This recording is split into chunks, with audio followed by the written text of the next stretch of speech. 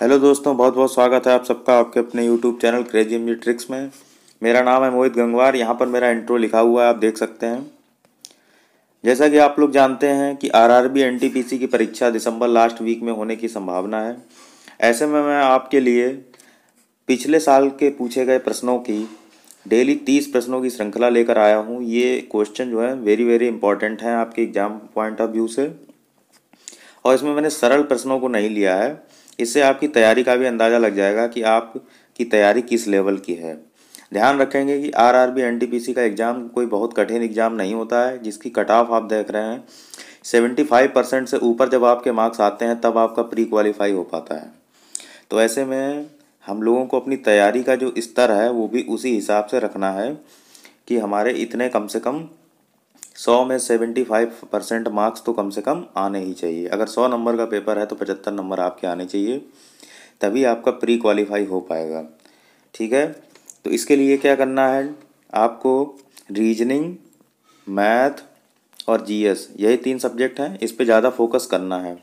आपको current affair पढ़ना है और जो स्टैटिक जीके है या जो भी जीके के पोर्सन है वो पढ़ना है। लेकिन ज़्यादातर जो आपको ध्यान देना है वो रीजनिंग और मैथ पे ज़्यादा ध्यान देना है, क्योंकि यही आपका स्कोरिंग पोर्सन होता है। बाकी जीएस में आप करंट अफेयर पढ़ सकते हैं, और जो स्टैटिक जीके का पोर्सन होता है, जिसमें चीज़ें फिक्स होती हैं बार बार रिपीट होती हैं, आप उनको भी देख सकते हैं। तो इसी के अंतर्गत आज हम लोग, ये मेरे बारे में इन्फॉर्मेशन लिखी हुई है, आप देख सकते हैं। ठीक है, मैं सभी कम्पिटिटिव एग्ज़ाम्स के लिए पढ़ाता हूँ। यूट्यूब पर मेरी daily live daily free class होती है। आज हम लोग क्या करते हैं, आरआरबी एनटीपीसी की जो स्टेज वन परीक्षा हुई थी 2016-17 में, आप जानते होंगे चवालीस शिफ्टों में जो एग्ज़ाम हुआ था, उसमें स्टैटिक जीके के जो कुछ महत्वपूर्ण प्रश्न हैं, उसको हम लोग आज डिस्कस करेंगे। इसमें मैंने लगभग तीस क्वेश्चनों को लिया है, और आपको ये देखना है कि आपकी तैयारी का स्तर क्या है, ठीक है? कमेंट बॉक्स में वीडियो ख़त्म होने के बाद आप लिखिए। कि आपके तीस में से कितने प्रश्न सही हुए हैं। और ये सभी प्रश्न पिछले वर्षों में पूछे गए हैं। मैं अपनी हिसाब से कोई भी क्वेश्चन उठा के नहीं लाया हूँ। प्रीवियस ईयर आप देख लीजिए, उसी में से ये क्वेश्चन पूछे गए हैं। तो बढ़ते हैं पहले क्वेश्चन की ओर। ये रहा आपकी स्क्रीन पर पहला प्रश्न। पहला प्रश्न है, भारतीय मूल की कल्पना चावला अंतरिक्ष में किस यान से गई थी? चार ऑप्शन है आपके सामने, कोलंबिया, चैलेंजर, अटलांटिस और एंडेवर। तो इसमें आपको बताना है कि भारतीय मूल की कल्पना चावला अंतरिक्ष में किस यान से गई थी। तो इसका जो सही जवाब हो जाएगा, कोलंबिया। कोलंबिया यान से जो है कल्पना चावला अंतरिक्ष में गई थी। कब गई थी? 2003 में।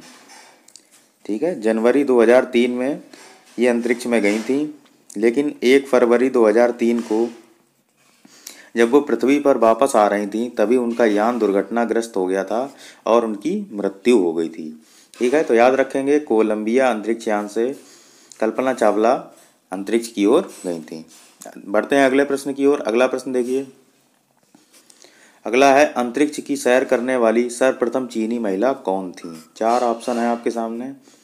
वांग यापिंग यून लिu यांग येलेना सेरोवा बताइए तो इसमें जो सही जवाब हो जाएगा लिu यांग ये एक चीनी महिला हैं जो कि अंतरिक्ष की सैर करने वाली प्रथम चीनी महिला है ठीक है? और इन्होंने किस अंतरिक्ष यान से अपनी यात्रा की थी तो वो भी बहुत महत्वपूर्ण नहीं है लेकिन आप दे, देख सकते हैं सेंग जू नाइन ये कोई यान था इससे जो है इन्होंने अपनी यात्रा की थी। तो चीनी महिला अगर पूछा जाए तो कौन हो जाएगा? ल्यू यांग। इसके अलावा आपसे कुछ क्वेश्चन पूछे जाते हैं कि अंतरिक्ष में जाने वाला पहला व्यक्ति कौन था? तो ध्यान रखेंगे, यूरी गागरिन। कौन था? Yuri Gagarin. ये रूस के हैं। ये अंतरिक्ष में, अंतरिक्ष की यात्रा करने वाले पहले व्यक्ति हैं। ठीक है? अगर आपसे पूछा जाए, अंतरिक्ष की यात्रा करने वाली पहली महिला कौन थी? तो टेरेस्कोबा याद रखेंगे, बस इतना सा। टेरेस्कोवा, पूरा नाम है इनका, वैलेंटीना टेरेस्कोवा। ये टेरेस्कोवा जो है, ये अंतरिक्ष की यात्रा करने वाली पहली महिला है। यूरी गागरिन अंतरिक्ष की यात्रा करने वाले पहले पुरुष हैं। दोनों व्यक्ति रूस से संबंधित हैं, ठीक है? इतना हो गया। बड़े आगे। अगला प्रश्न। अगला प्रश्न है, अब तक कितने अंतरिक्ष यात्रियों ने चाँद की सैर की है? चार ऑप्शन है, दो, पाँच, आठ, बारह। इसका जो सही जवाब हो जाएगा आपका बारह। तो अभी तक बारह अंतरिक्ष, बारह लोगों ने अंतरिक्ष की यात्रा की है, ठीक है? ध्यान रखेंगे, इनके नाम इंपॉर्टेंट नहीं है, संख्या इंपॉर्टेंट है, ठीक है? जिसमें आपका पता होगा, नील आर्म स्ट्रॉन्ग है वो जेल्ड्रिन है, और बाकी बहुत सारे लोग हैं, लेकिन आप संख्या याद रखिए, बारह है। आगे बढ़ते हैं। अगला प्रश्न है, बाह्य अंतरिक्ष में यात्रा करने वाला पहला बंदर कौन था? अब ये भी प्रश्न पूछे गए हैं, बंदर कौन गया पहले? कुत्ता तो या कुतिया तो आपने पढ़ रखा होगा लाइका तो यहाँ पर पूछा गया है, बाह्य अंतरिक्ष की यात्रा करने वाला पहला बंदर कौन था? ये भी आपका R R B N T P C में पूछा गया प्रश्न है। तीस अप्रैल को 2016 में पहली पाली में पूछा गया था। तो इसका जो सही जवाब हो जाएगा आपका अल्बर्ट सेकेंड। अल्बर्ट सेकेंड एक बंदर था जो कि बाह्य अंतरिक्ष की यात्रा करने वाला पहला बंदर था। और इसकी खासियत ये थी कि एक रीसस बंदर था। रीसस बंदर था। आपने बायोलॉजी में पढ़ा होगा, ठीक है? तो रीसस बंदर था ये एक प्रकार का यूएसए द्वारा ये भेजा गया था, ठीक है? तो अल्बर्ट टू याद रखेंगे। बढ़ते हैं अगले प्रश्न की ओर। अगला प्रश्न है आपके सामने, कौन सा अंतरिक्ष यात्री अंतरिक्ष केंद्र में 340 दिन बिताकर वापस धरती को लौटा? ठीक है 340 दिन बिताए और वापस धरती पर लौटा। चार ऑप्शन है, स्कॉट केली, मिखाइल कॉर्नियंको, एरिक वो और डगलस हर्ली।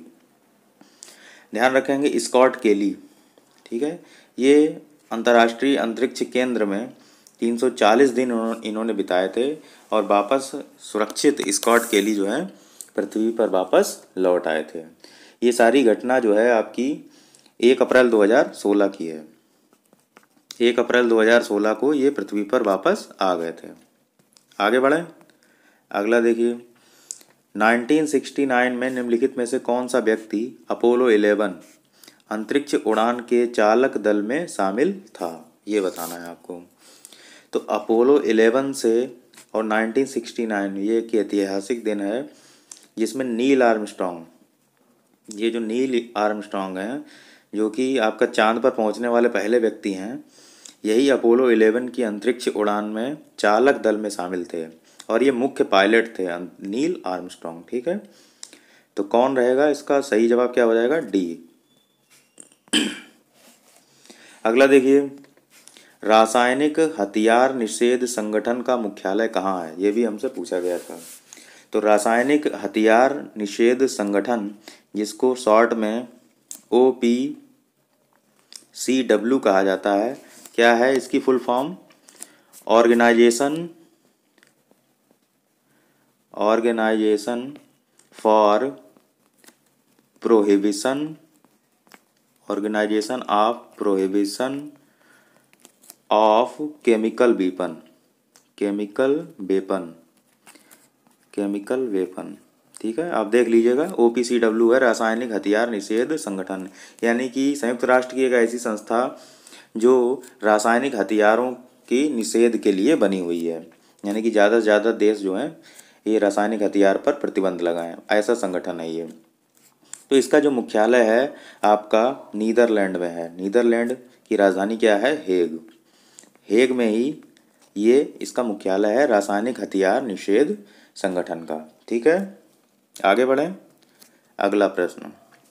अगला प्रश्न है आपके सामने फाउंटेन ऑफ़ वेल्थ कहाँ स्थित है? यह भी प्रश्न पूछा गया है। कमेंट बॉक्स में आप लिखेंगे ज़रूर कि आपके तीस में से कितने प्रश्न सही हुए हैं, ठीक है? आपको पता चल जाएगा कि आपकी तैयारी का स्तर कहाँ तक है। तो फाउंटेन ऑफ़ वेल्थ कहाँ स्थित है? चार ऑप्शन है आपके सामने, सिंगापुर, थाईलैंड, सऊदी अरब और लंदन। इसका जो सही जवाब हो जाएगा सिंगापुर, ठीक है? फाउंटेन ऑफ़ वेल्थ आपका सिंगापुर में है, जो कि विश्व का सबसे लंबा फब्बारा है। ठीक है? क्या है ये? विश्व का सबसे लंबा फब्बारा। विश्व का सबसे लंबा फब्बारा है ये। फाउंटेन ऑफ़ वेल्थ कहाँ है? सिंगापुर में है। ठीक? आगे बढ़ें। अगला प्रश्न देखिए। अगला प्रश्न आपके सामने है। नेताजी सुभाष राष्ट्रीय क्रीड़ा संस्थान कहाँ स्थित है? चार ऑप्शन है आपके सामने। नई दिल्ली, पटियाला, देहरादून और कोलकाता। बताइए। तो नेताजी सुभाष राष्ट्रीय क्रीड़ा क्रीड़ा संस्थान जो है आपका पटियाला में है। कहाँ है? पटियाला। पटियाला कहाँ है? पंजाब में। ठीक है? तो नेताजी सुभाष राष्ट्रीय क्रीड़ा संस्थान कहाँ है? पंजाब या पंजाब के पटियाला में। आगे बढ़ें। अगला देखिए। अगला आपसे पूछा गया है, भारतीय कृषि अनुसंधान परिषद का मुख्यालय कहाँ स्थित है? ये शायद आप लोगों को पता हो। तो भारतीय कृषि अनुसंधान परिषद का मुख्यालय आपका नई दिल्ली में है। ठीक है? नई दिल्ली में इसका मुख्यालय है। अगला अगला क्वेश्चन है, प्रसार भारती जो कि एक स्वायत्त निकाय है, यानी कि एक इंडिपेंडेंट बॉडी है, जिसके अंतर्गत क्या आता है? चार ऑप्शन है आपके सामने, प्रसार भारती में ऑल इंडिया रेडियो दूरदर्शन और बीएसएनएल आता है। इसके अंतर्गत, या ऑल इंडिया रेडियो और दूरदर्शन आता है प्रसार भारती के अंतर्गत, या केवल ऑल इंडिया रेडियो आता है, या केवल दूरदर्शन आता है? इसका जो सही जवाब हो जाएगा ऑल इंडिया रेडियो और दूरदर्शन दोनों, ठीक है? प्रसार भारती के अंतर्गत ऑल इंडिया रेडियो और दूरदर्शन दोनों आते हैं। अगला प्रश्न। अगला प्रश्न है आपके सामने, भारतीय विज्ञान संस्थान कहाँ स्थित है? चार ऑप्शन है आपके सामने, कानपुर, बेंगलोर, मुंबई और चेन्नई। इसका सही जवाब हो जाएगा बेंगलुरु। भारतीय विज्ञान संस्थान को ही लोकप्रिय रूप से आप आईआईएससी कहते हैं। आई का मतलब इंडियन इंस्टीट्यूट ऑफ़ साइंस ये क्या है? Indian Institute of Science Indian Institute of Science भारतीय विज्ञान संस्थान. भारतीय विज्ञान संस्थान का मुख्यालय याद रहेगा बेंगलोर में, ठीक है? आगे बढ़ते हैं। तेरहवा प्रश्न आपके सामने रहे कि भारतीय अंतरिक्ष कार्यक्रम के जनक कौन है? भारतीय अंतरिक्ष कार्यक्रम के जनक कौन है? चार ऑप्शन है A P J Abdul Kalam doctor Vikram Sarabhai, K Kasturirangan या प्रोफेसर सतीश धवन। बताइए। तो इसका जो सही जवाब हो जाएगा विक्रम साराभाई। ठीक है? भारतीय अंतरिक्ष कार्यक्रम के जनक विक्रम साराभाई हैं और यही आपके इसरो के पहले अध्यक्ष भी हैं। ठीक है? इसरो के पहले अध्यक्ष हैं। इसरो के पहले अध्यक्ष भी हैं। ठीक है? विक्रम साराभाई इसरो के पहले अध्यक्ष भी हैं और अंत, भारतीय अंतरिक्ष कार्यक्रम के जनक भी हैं। और इसरो का मुख्यालय भी आपसे पूछा जाता है तो इसरो का मुख्यालय कहाँ है? बेंगलोर में है, बेंगलुरु में है। कब स्थापना हुई थी? 1969 में, ठीक है? आगे बढ़े, अगला देखिए। राकेश शर्मा ने जिस अंतरिक्ष यान से अंतरिक्ष की यात्रा की थी, उसका नाम क्या था? ये क्वेश्चन कई बार पूछा गया है। तो इसका जो सही जवाब हो जाएगा सोयुज टी इलेवन। ठीक है? सोयुज टी इलेवन एक अंतरिक्ष यान था, जिससे राकेश शर्मा ने अंतरिक्ष की यात्रा की थी। ठीक है? और ये उन्नीस सौ चौरासी को ये जो अभियान है, ये लॉन्च हो, किया गया था 1984 में। ठीक है? सोयूज टी इलेवन इसका सही आंसर है। आगे आगे बढ़ें। अगला देखिए, इसरो के पहले अध्यक्ष कौन थे? तो अभी मैंने बताया था तो इसरो के पहले अध्यक्ष कौन है?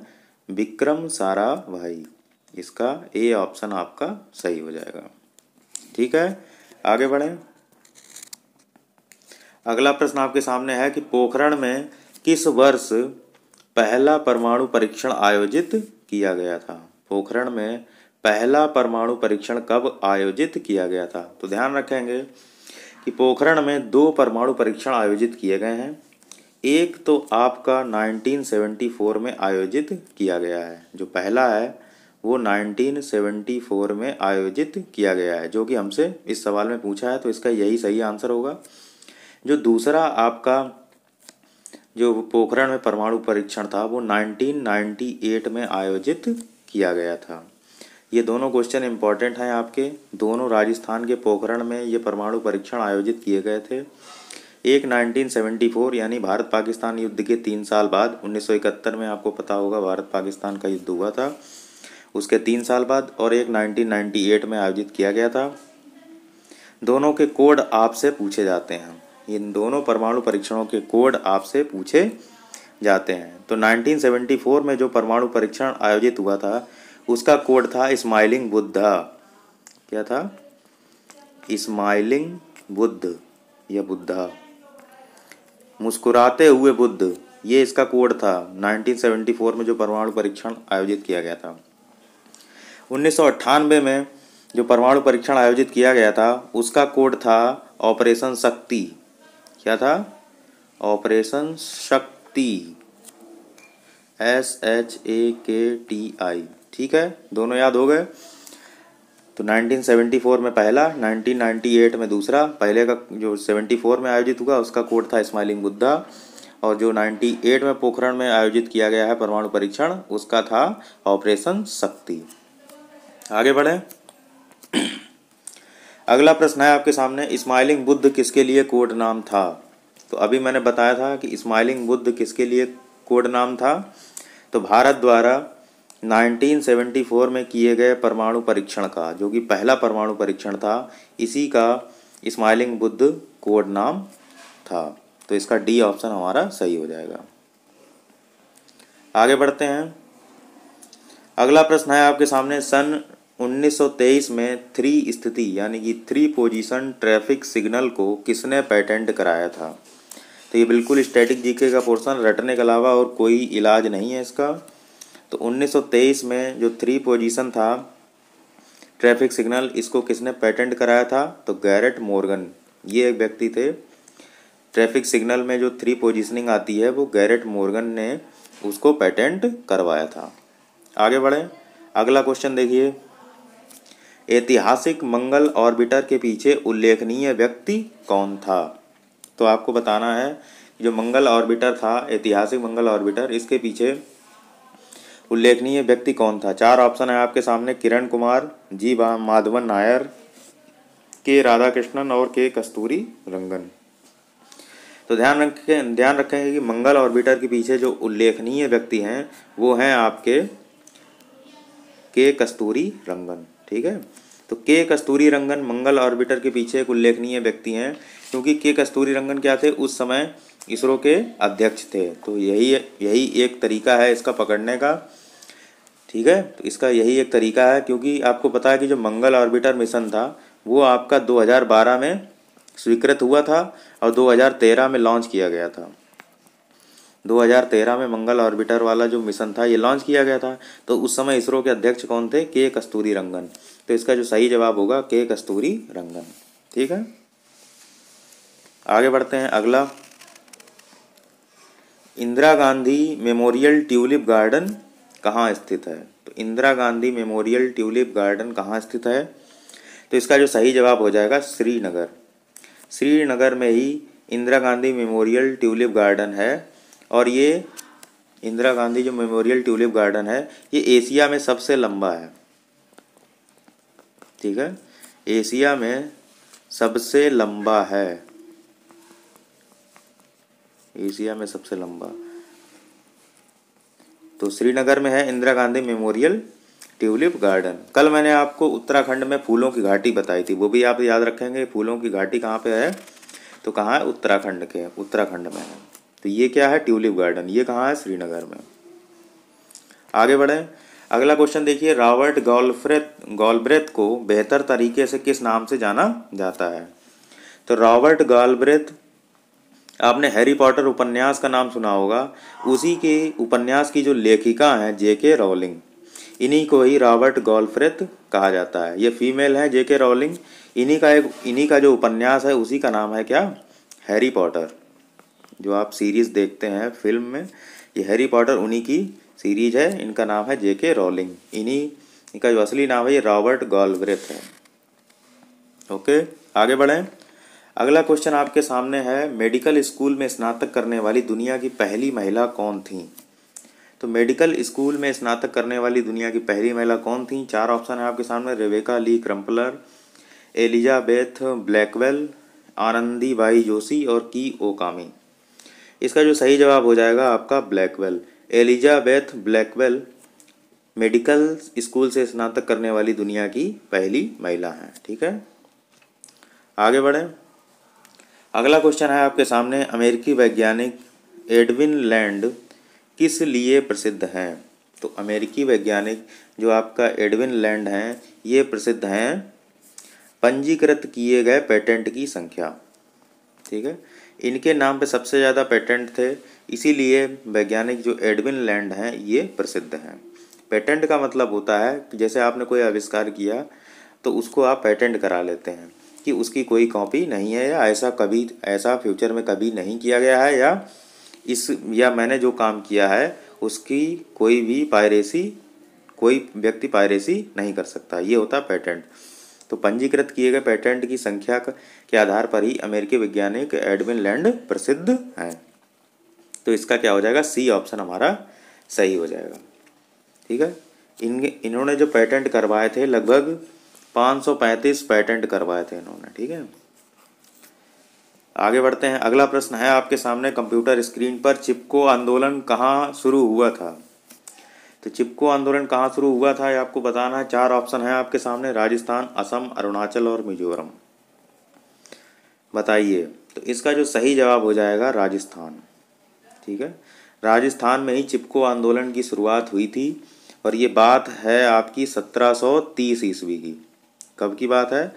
1730 ईस्वी में जोधपुर ज़िले की एक घटना है, जिसमें एक महिला थी, जिनका नाम था अमृता देवी। क्या नाम था? अमृता देवी।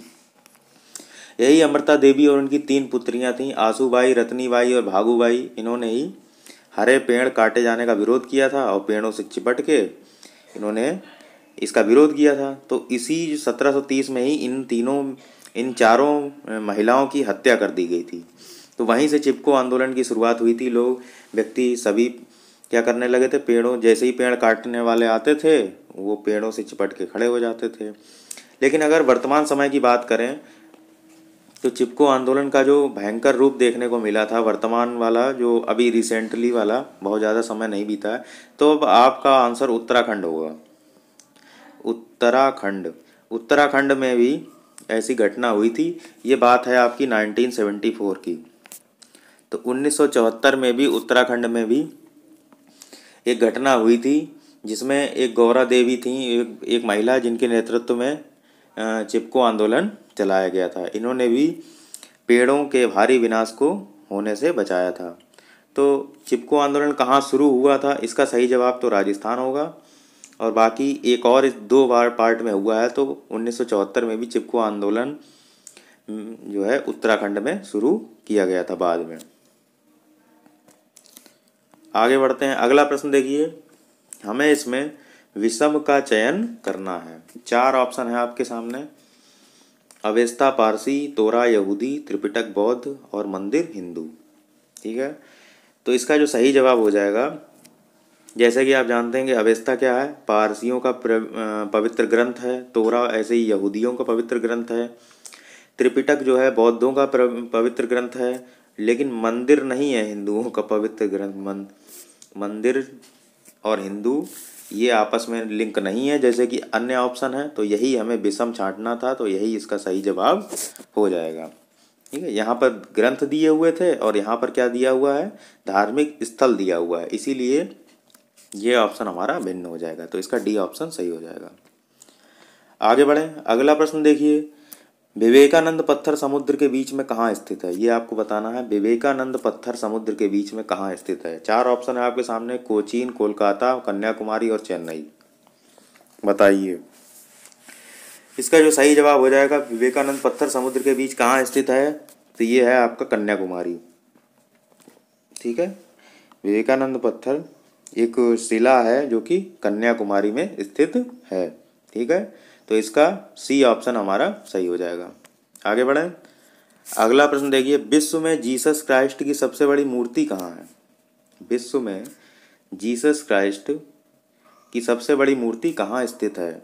चार ऑप्शन है, ब्राज़ील, मैक्सिको, इटली और पेरू। इसका जो सही जवाब हो जाएगा आपका ब्राज़ील। ब्राज़ील में जीसस क्राइस्ट की सबसे बड़ी मूर्ति स्थित है। हालाँकि अभी भी इसमें विवाद है लेकिन जब एग्ज़ाम में आएगा तो आप ब्राज़ील ऑप्शन सही टिक करेंगे, ठीक है? आगे बढ़ते हैं। अगला है कि मोस्ट स्पेस टेलीस्कोप किस देश का है? तो मोस्ट स्पेस टेलीस्कोप, ये ये एक अंतरिक्ष स्टेशन में एक उपग्रह है। ये किस देश का है? तो ये जो है, भारत, कनाडा, रूस, अमेरिका चार ऑप्शन है। ये कनाडा देश का है, ठीक है? तो ये बी ऑप्शन हमारा इसमें सही हो जाएगा, ठीक है? मोस्ट स्पेस टेलीस्कोप किस देश का है? तो ये कनाड, कनाडाई वैज्ञानिक उपग्रह था, जो कि 2003 में अंतरिक्ष में लॉन्च किया गया था। कब किया गया था? 2003 में। आगे बढ़ें। अगला देखिए। अगला है, कैप्टन रूप सिंह स्टेडियम किस शहर में है? कैप्टन रूप सिंह स्टेडियम किस शहर में? चार ऑप्शन है आपके सामने। चंडीगढ़, ग्वालियर, मोहाली, रोहतक और ये आज का आखिरी प्रश्न है। बताइए इसका आंसर। तो इसका जो सही जवाब हो जाएगा ग्वालियर। ग्वालियर में कैप्टन रूप सिंह स्टेडियम है। ध्यान आपको ध्यान रखना है, जो कैप्टन रूप सिंह स्टेडियम है, ये क्रिकेट का स्टेडियम है। और एक रोचक जानकारी आपको इसमें बता दूँ कि सचिन तेंदुलकर ने, सचिन तेंदुलकर जी ने अपनी पहला जो डबल सेंचुरी थी, या दोहरा शतक था, वो इसी कैप्टन रूप सिंह मैदान पर ही जड़ा था साउथ अफ्रीका के खिलाफ, ठीक है? तो सचिन तेंदुलकर ने अपना दोहरा शतक इसी मैदान पर लगाया था कैप्टन रूप सिंह स्टेडियम में, जो कि आपका ग्वालियर में स्थित है, ठीक? तो ये था इसका सही आंसर हो जाएगा बी तो कैसा लगा? आपको ये वाला सेशन कमेंट में बताइए कि आपके तीस में से कितने प्रश्न सही हुए। डेली मैं आपको अलग अलग जो भी R R B N T P C में प्रीवियस ईयर के जो भी क्वेश्चन पूछे गए हैं, उनको तीस तीस के क्रम में हम लोग जल्दी जल्दी सॉल्व करने का प्रयास करेंगे।